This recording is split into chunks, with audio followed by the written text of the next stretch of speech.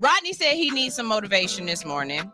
He said he moving a little slow. He needs something to help him get him riled up and ready. Okay. This was on my heart as I was walking in because somebody posted something on one of my uh one of my posts, like one of my flyers my book me flyer to be exact. Book me if you guys need a host, if you need somebody to hee hee ha ha with, if you need somebody to get your party started, if you need a motivator or anything like that, y'all can book me. And so I I post these posts every once in a while or whatnot to generate revenue and business. And somebody underneath it just put one of those faces. You know what I'm saying? Like the the emoji with just the line as a mouth. So I went up underneath her her comment and politely said, "So what's this mean?" Because this is the second time that this particular mayonnaise based person has posted this on one on this same post. The first time she posted it, I put a heart. I see you. Every comment is a comment. It's still interactions. But see, the second time you did it, now I'm wondering what's your issue. So I'm gonna address it and I'm ask you. So what does this mean? You know what I'm saying? If you are not a coward and if you aren't a keyboard killer, you know what I'm talking about? Them people who get on the keyboard if you're not a keyboard killer, stand up, speak up, and say what you got to say. Otherwise, you are now under the guise of hater. And I'm a big fan of haters are fans too. Okay. So you can go in line with the rest of the fans as well. Okay. I can't tell the difference between a hater and a fan.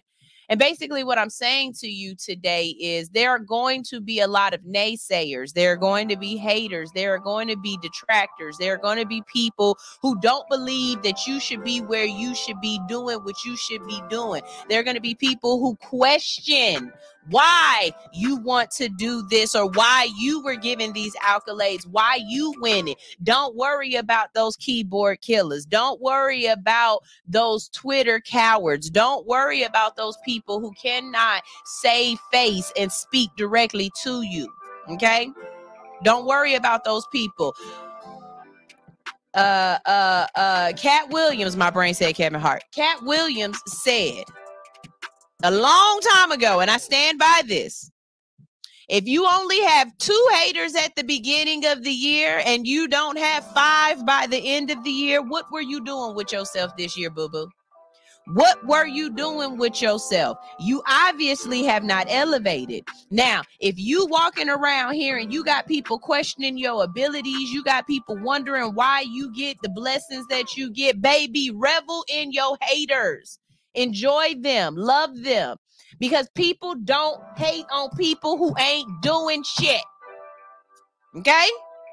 If you don't know, let me explain this to you. Let me let you know. People do not hate on people that they don't think is a threat people do not hate on people who don't who are just laying in the bed who aren't making waves who aren't shaking things up people do not hate on people that they are not intimidated by so if you got a hater, embrace your hater. Thank your hater for letting you know that you on top of your game and you doing what you supposed to be doing. Okay? Enjoy your haters. We need them. Matter of fact, I could use another hater or two. What's up? Tell me my hair ain't cute. Come and call my, my show a, a little podcast. Let me know my ass ain't fat. I don't care what you got to say about me, sweetheart. I laugh at it. Bring it on. That just means that another person has seen me and is watching, whether you like it or not. As a matter of fact, go tell your friend how much you hate me so that they can come over here and watch me too. Baby, all interactions, all all insights are good insights as far as I'm concerned, okay? Okay, yeah. So today I have quoted Katt and I have quoted Easy E. My day is done.